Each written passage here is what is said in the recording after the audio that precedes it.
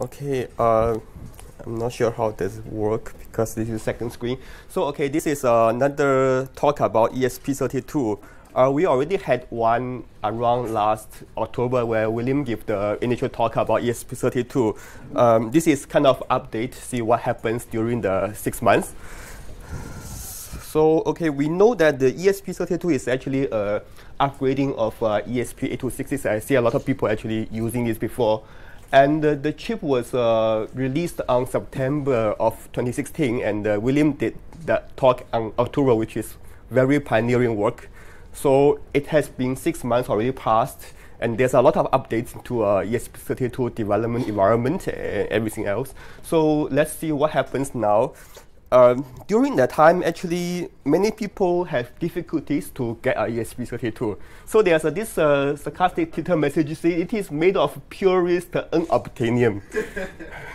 so, but, luckily, uh, recently, uh, there's an announcement saying, okay, we have the new version that's made of Avalium. 1729, I guess it's in 2017, February the 9th, there, where they have a big, biggest launch. So now it is actually very easy to get a ESP32. So what we have now is uh, first we have uh, ESP32 WROOM. This is the Espressif um, official module. Uh, unlike the ESP8266 time, then we have a lot of different modules, like ESP01 and ESP14. So at this currently we only have one, which is the ESP WROOM 32. And luckily, Espressif is giving all the design document of this module, so you see other people are making similar modules with the same pinout and the same layout, everything. So for example, uh, our familiar AI Thinker one, they, they call this ESP32S. And recently there's a DFRobot, they gave another one, it's exactly the same as the ESP32-WROOM, but they have uh, some of their own logos written on the shielding can. And uh, I have to mention some of the other boards. For example, this is a DV DevKit C, which is also initialized by Espressif when they initially launched this module. And uh, that was uh, selling by Adafruit and uh, Olimex during starting from last year. And the time was like uh, one customer, one piece kind of limitation. Now it, it doesn't have anymore. And uh, some of, I just go through some of the development hardware. Uh, Nano 32, which is almost the first ESP32 development board by third party. And this is done by uh, Maker Asia and the Gravitech. And it's a much nicer design. I still love it very much because it is fit to a breadboard very well. Whereas the, this board, you have to using two breadboards side by side. Then you can actually spend two boards to use it. So the first big name who give a ESP32 board was SparkFun. They have this uh, ESP32 thing. Uh, in addition to any of the other board, they have a lithium battery charger, and uh, they have so that you can you can use a lithium battery to supply this whole uh, project. And also, there are some of the other name worth mentioning. For example, the Hornbill, they are doing a cross supply now. The, uh, this board is selling at twelve dollars. And uh, okay, this one, uh, WeMOS, is kind of a very familiar name in 8266. And they, they really give a very attractive price at $7. You can order this from uh, AliExpress. I'm not sure how the quality yet, but I didn't order, but $7, how can go wrong, right? and this is another one from Thailand, and they have uh, they, they have uh, additional they have humidity sensor on top on top of the board and humidity and temperature. I'm not sure whether it is a good idea because the temperature sensor seems like very near the ESP32 module. So yeah, it, it runs quite warm actually. And uh, okay, I, I need to mention this is my board. Uh, this is JS ESP32. Uh, it has all the functions of all, all these, and uh, I have a special uh, shell that has a JTAG debugger on it. So if I have time, maybe I have to uh, a quick demo of this later. So okay, uh, this is the hardware side. So let's go to the the major difference between 32 and the 8266 is that ESP32 has a hell lot of documentation. I don't want to pull up this page yet. It's too many things here. And they actually have a very nice uh, reader.io. They have all the documentation online that you can just search, index, whatever inside there. And with this documentation, I have to say that now Espressif is very much on par with all the other responsive silicon manufacturers because they have all the documentation and they keep updating it very nicely done. And also you can have this uh, this book. This is a this is actually a free book, but uh, recommend recommended price is five dollar. You can pay this guy Nick Kolban, five dollar and get this book. And he also have a very nice uh, YouTube channel about all the technical tutorials. So the main idea I'm coming to th this talk is I want to introduce different development environment. I want to do some demos. So let's starting with the first one, which is MicroPython. Our MicroPython have been very, very popular in the last year when they do ESP8266, CC3000, all kinds of uh, boards. And uh, uh, this guy, it, it is MIT licensed, meaning that you can use it for commercial projects. And uh, it, it is actually single-handedly ported to ESP32 by this guy, Damien George. And now, uh, recently they have an announcement that the, uh, the in initial MicroPython, which is by Pycom team, and they are merging together. So uh, the current GitHub repo is here, but soon you will see the whole thing in a single repo by Pycom. So I, I, I'm doing a quick demo here. So I have this board here. Uh, I'm not sure where you can see. Uh, I just put an LED. Uh, everything I want to do starting doing anything is a blinking program. So let's see uh, how I do a, how we can do a blinking using a MicroPython.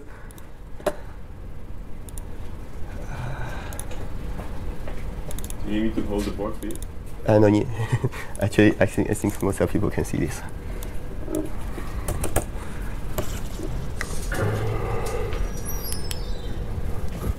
Okay, I need to pull the screen. Oh. Okay. MicroPython currently, uh, what you, you have is they call a REPL, which is read evaluation print loop.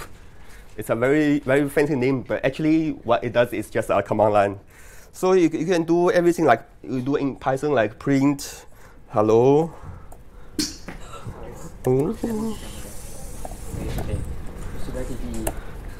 It's, it's, it's very much the Python program. Now you can do all kinds of things here.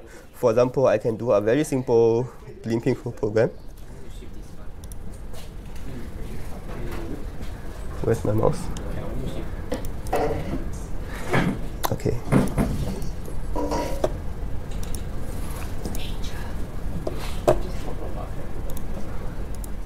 Okay, this is a very simple Python program. If anybody uh, familiar with Python, this is that. It just it's starting blink.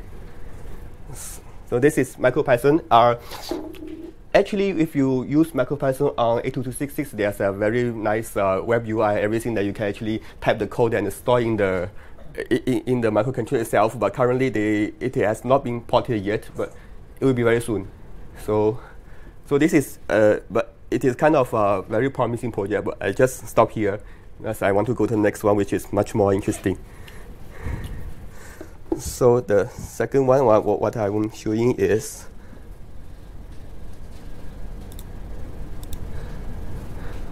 okay. okay.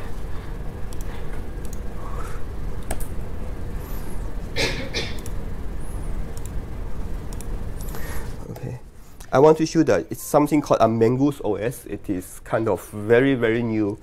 Uh, it's just started and uh, what it does is it allows you to program a ESP8232 uh, using JavaScript. So I do the same thing. I put the board here. And what I'm doing here is, let's see, um, for uh, you can go to the website and download the Mongoose OS, and what you get is actually a very simple tool um, called MOS.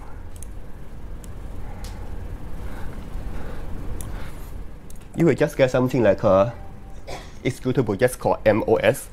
It doesn't show up anything, but when you run it, I, I show a Mongoose OS um, program first.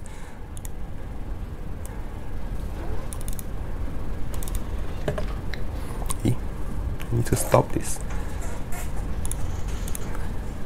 Let me just stop this first.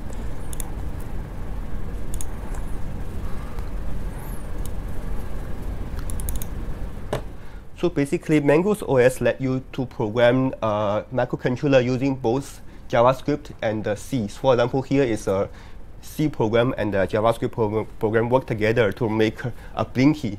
So what does the C program do? It's actually very simple. It's just, uh, it's just one function. Uh, give a number, return number, tell the, the LED is on pin 5. And this is the initial uh, initial code that looks very daunting, but actually it's just uh, starting the JavaScript and uh, run this init.js. And what happens to the JavaScript side is, okay, this is pure JavaScript. Get the LED from C function call and do a timer and do a callback to toggle this thing, to toggle the LED. So how to use this one is, open. Okay, actually what you need to do is uh, actually what you need to do is just call MOS build.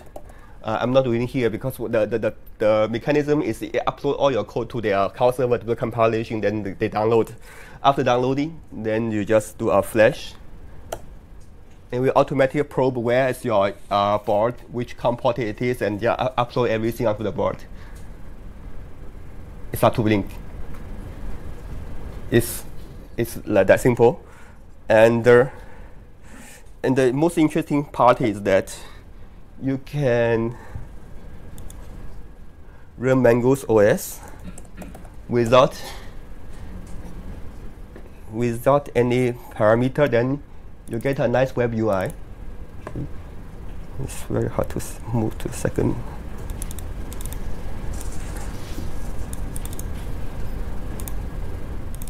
You get very nice web UI, and uh, you can see what are the files installed in the microcontroller. Especially just now the init.js is here. We can just change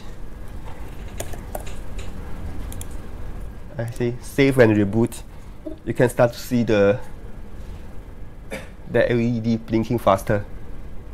So it's basically if you, you upload one time, then you can do all your program inside this environment without any additional um, development environment. So that is Mongoose OS, and they have a lot of other uh, uh, APIs. They call RPC API that uh, these all the like I2C, GPIO, file system, all the Wi-Fi stuff then you can call these APIs using either JavaScript or C or a web service call or a RESTful API, everything. It's, so it's kind of when I saw this, oh, oh my god, I never tried this before. It's kind of, uh, I just know this last week and I feel that that could be a future. Okay, so, so, so much for this. The, I want to do a quick demo. There's not too much time left. Uh, everybody's favorite Arduino has been ported to ESP32 as well. And this is usable because Arduino Core, which is GPL licensed, and uh, the two person who is heavily contribute to Arduino project actually is uh, me-no-dev. He is the initial Arduino also of uh, ESP31, which is the beta version of ESP32, and the this IGRR is uh, Ivan, who who is the initial author of uh, Arduino Core for 8266, and both of them are working for Espressif now. So uh, this is kind of official uh, port.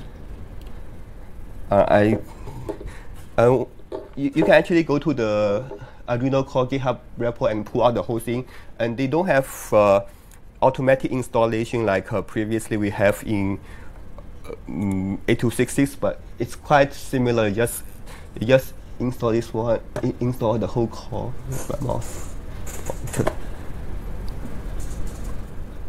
So it's basically you, you, you have very much the same same thing as the okay. So you choose your board. You choose your board as ESP32 module like they have a lot of choices same as 8266. I can get this module and you just uh, you just upload your code uh, if you are familiar with Arduino, this is super simple. It's like digital write, uh, delay something on off, like that. So it just works like uh, you are using an official Arduino board. Okay, so I have 23 seconds left. So let's go to the last one. If you are not happy with all kinds of high-level program, everything, And in the end, you can still go back to the original uh, ESP IDF, which William gave a talk last time. And what I'm showing is the progress of making this one. What you need to do is uh, download the ESP IDF packages and the, let me see here. Uh,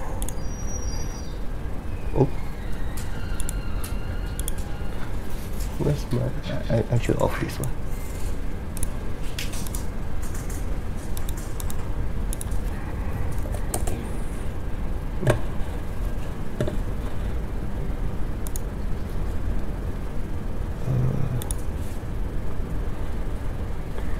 This on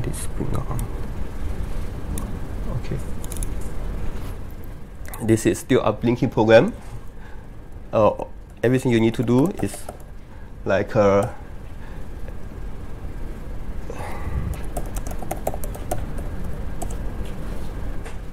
mm, anybody who did the Linux kernel configuration, actually you see this one. This is the same configuration pattern as uh, ESP IDF. We do everything here, like you, you, you could configure which, where's the COM port, everything. Then you do exit, you do uh, make, make and uh, make flash. Then it's a very menu. So, but it, this gives you total control of everything about uh, ESP32. Let's see here. So it's a it's a basic code like while while loop, set level high, set level low, let, let, let, let the uh, LED blink, and it is very uh, nicely integrated into Eclipse. Then there's a documentation of about how to set up in your Eclipse, and with all the code uh, sense, and it look for the all the documentation, uh, all the header files within the IDE, and once you have all everything compiled, um, I do a very quick demo of.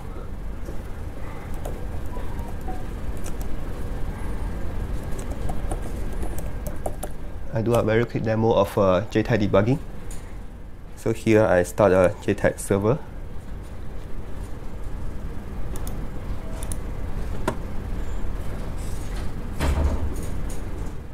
The program is already running. So for example, I can set a breakpoint here.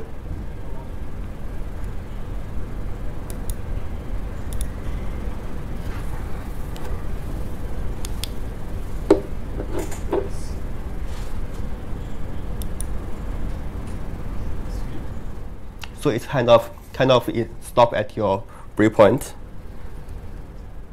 You can step into the code. You can see all the variables.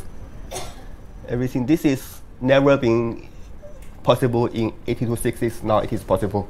So you can dig into everything. You want to do a real serious debugging, then you can use the ESP32 with a JTAG. So this is all about I can share at this time. So uh, I think that's that, that's all for it. Any question?